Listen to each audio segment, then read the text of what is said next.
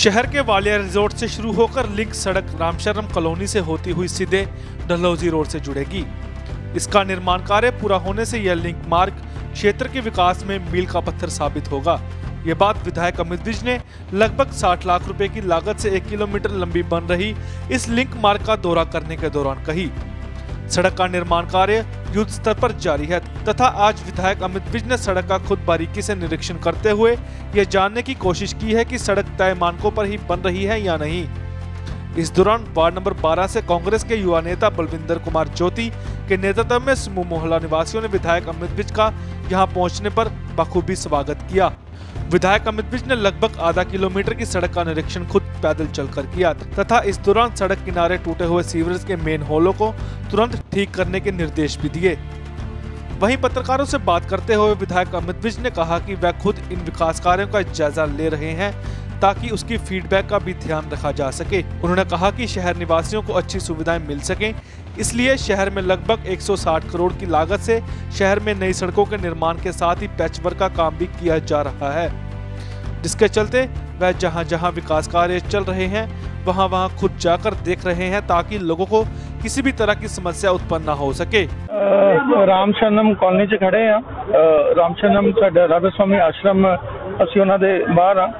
ਇਹਦੇ ਵਿੱਚ ਅਹ, ਤੁਹਾਨੂੰ ਬਦ ਯਾਦ ਹੋਏਗਾ ਕਿ ਅਸੀਂ ਪਿੱਛੇ ਕੰਮ ਚਾਲੂ ਕਰਾਇਆ ਸੀ ਫਿਰ ਬਾਰਿਸ਼ਾਂ ਵੀ ਆ ਗਈਆਂ ਫਿਰ ਕਰੋਨਾ ਦਾ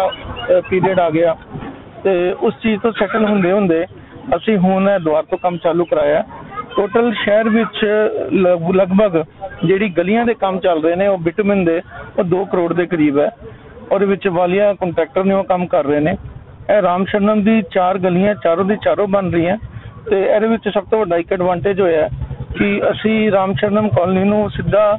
ਅਹ, ਵਾਲੀਆ ਰਿਜ਼ੋਰਟ ਤੋਂ ਜਿਹੜੀ ਏਬੀ ਕਾਲਜ ਵਾਲੀ ਰੋਡ ਆ ਉਹਨਾਂ ਨਾਲ ਕਨੈਕਟ ਕਰ ਰਹੇ ਹਾਂ ਤੇ ਡਲਹੌਜ਼ੀ ਰੋਡ ਨਾਲ ਕਨੈਕਟ ਕਰ ਰਹੇ ਹਾਂ। ਇਹਦੇ ਨਾਲ 4 ਕਿਲੋਮੀਟਰ ਦਾ ਡਿਸਟੈਂਸ ਵੀ ਬਚਿਆ ਤੇ ਨਾਲ ਟ੍ਰੈਫਿਕ ਦਾ ਲੋਡ ਵੀ ਘਟਿਆ ਤੇ ਮੈਂ ਤਿੰਨ ਵਾਰਡਾਂ 'ਚ ਰੋਡਸ ਪੈਂਦੀਆਂ। ਵਾਰਡ ਨੰਬਰ 20 21 22 ਅਹ, ਅਜੇ ਜੀ ਜੋਤੀ ਜੀ ਤੇ ਜੁਗਲ ਜੀ ਮੇਰੇ ਨਾਲ ਹੈਗੇ ਨੇ ਜਿਹੜੇ ਵਾਰਡ ਦੇਖ ਰਹੇ ਨੇ। ਮੈਂ ਇਹਨਾਂ ਨੂੰ ਤੇ ਸਾਰੇ ਵਾਰਡ ਵਾਸੀਆਂ ਨੂੰ ਪਹਿਲੇ ਮੁਬਾਰਕ ਦਿੰਦਾ ਤੇ ਨਾਲ ਹੀ ਅਸੀਂ ਇਹ 4-5 ਦਿਨ ਦੇ ਅੰਦਰ ਕੰਮ ਖਤਮ ਕਰਕੇ ਲੋਕਾਂ ਦੀ ਸੈਟੀਸਫੈਕਸ਼ਨ ਦੇ ਹਿਸਾਬ ਨਾਲ ਕੰਮ ਕਰ ਦਾਂਗੇ। ਕਿਸ ਤਰ੍ਹਾਂ ਦਾ ਮਟੀਰੀਅਲ ਜਿਹੜਾ ਯੂਜ਼ ਕੀਤਾ ਜਾ ਰਿਹਾ ਸੀ। ਇਹਦੇ ਵਿੱਚ ਹੁਣ ਜਿੰਨਾ ਵੀ ਸਟੈਂਡਰਡ ਹੈ ਜੀ ਜਿਹੜੀ ਨਵੀਂ ਬਿਟੂਮਨ ਦਾ ਕੰਮ ਅਸੀਂ ਕਰ ਰਹੇ ਹਾਂ ਉਹਦੇ ਵਿੱਚ 50 mm DBM ਤੇ 30 mm BC ਅਸੀਂ ਪਾਉਂਦੇ ਹਾਂ ਇਹਦੇ ਵਿੱਚ 25 mm ਹੈ। ਤੇ ਬਾਕੀ ਵੀ ਤੁਸੀਂ ਦੇਖਿਆ ਹੋਏਗਾ ਕਿ ਆਹ ਜਿਹੜੀ ਸਰਕੂਲਰ ਰੋਡ ਸਿੰਬਲ ਚੌਂਕ ਰੋਡ ਜਾਂ ਹੁਣ ਢਾਕੀ ਰੋਡ ਵੀ ਬਣ ਰਹੀ ਹੈ ਉਹਦੇ ਵਿੱਚ ਵੀ ਸੇਮ ਸਪੈਸੀਫਿਕੇਸ਼ਨ ਰੱਖ ਰਹੇ ਹਾਂ ਕਿ 50 mm DBM 30 mm DBC ਤਾਂ ਕਿ ਇਹ ਰੋਡਸ ਦੀ ਲਾਈਫ ਮੇਨਟੇਨਡ ਰਹੇ ਸਮੂਥਨੈਸ ਰਹੇ ਤੇ ਇਹਨਾਂ ਦੀ ਜਿਹੜੀ ਡਿਊਰੇਬਿਲਟੀ ਹੈ ਉਹ ਲੰਬੀ ਚਲੇ ਜੀ ਇਹਦੀ ਸਪੈਸੀਫਿਕੇਸ਼ਨ ਹੈ। ਕਿੰਨੀ ਲੈਂਥ ਪਰ ਕਿੰਨੀ ਲਾਗਤ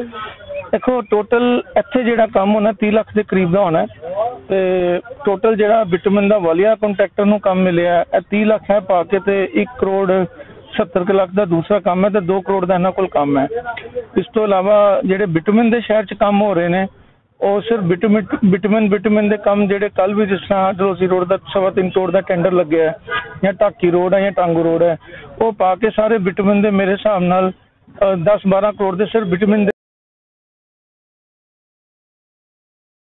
ਪਠਾਨਕੋਟ ਤੋਂ ਕੈਮਰਾਮੈਨ ਅਭਿਸ਼ੇਕ ਭਾਰਦਵਾਜ ਦੇ ਨਾਲ ਅਜੇ ਸੈਣੀ ਦੀ ਰਿਪੋਰਟ।